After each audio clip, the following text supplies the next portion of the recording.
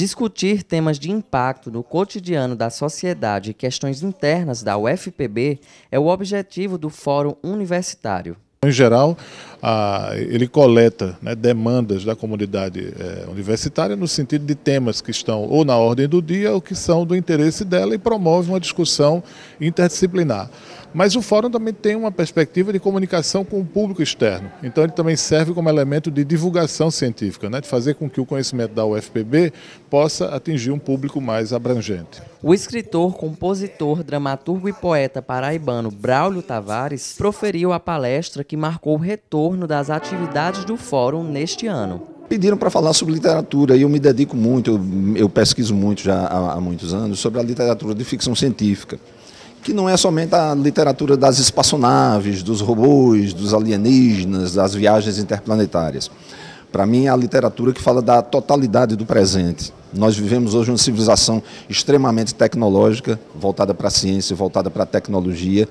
Uma tecnologia que transforma nossas vidas. Basta a gente ver de 20 anos para cá o que a internet fez com as nossas vidas, o que as redes sociais estão fazendo mais recentemente com as nossas vidas. E isso é a ficção científica que estuda, é a ficção científica que prevê coisas que hoje são do conhecimento geral de todo mundo, inclusive aqui na Paraíba, eu já sabia 50 anos atrás porque eu lia nos livros de ficção científica. E eu dizia, um dia isso vai ser possível. E hoje eu estou vendo. A reitora Margarete Diniz considera o projeto essencial para fortalecer a universidade como espaço de debate. É preciso que tenhamos as nossas aulas magnas no início do semestre, é preciso que tenhamos aulas magnas na pós-graduação e outras atividades e outros formatos de ação e de atividade que o professor Eduardo Rabenrocha apresenta agora num novo plano para o Fórum Universitário. Mas certamente é o, o local de discussão, de mobilização, de chamamento para que a comunidade universitária no seu conjunto, professores, servidores, técnicos, administrativos, estudantes e a sociedade como um todo, possam participar efetivamente dos, dos assuntos do dia a dia vividos na nossa instituição e no nosso país. Criado na década de 90, o Fórum Universitário da UFPB já recebeu ex-ministros, cientistas, poetas, escritores e inúmeras personalidades do cenário nacional. A trajetória das personalidades que palestram nos eventos promovidos pelo Fórum inspiram estudantes da UFPB.